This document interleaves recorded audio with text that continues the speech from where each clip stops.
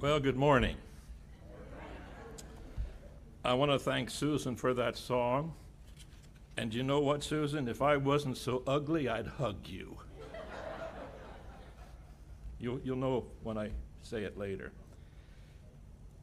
On June the 18th, Brother Carpenter sent me a message asking if I would preach on this day, July the 7th. And of course, I said yes. And uh, then I was sitting down reading.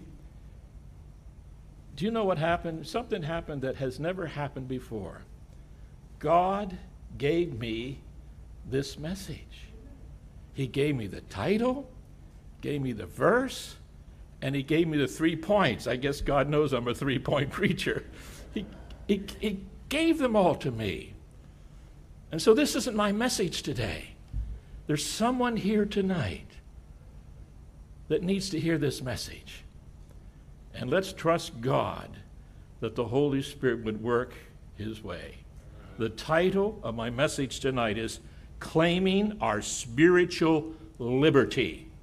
Now, we've been talking about, uh, you know, uh, liberty in the, in the country and all of that kind of stuff. But I want to talk about spiritual liberty. And I'm over in Galatians chapter 5 and verse 1. I will always remember Brother Bloom. I was coming here, I think, about four weeks, and I come up to talk to him and said, Listen, Brother Boone, Bloom, did I say Boom? Brother B- Bloom, uh, I, have a, I have an itch with you. And he said, Oh, yeah, what is it?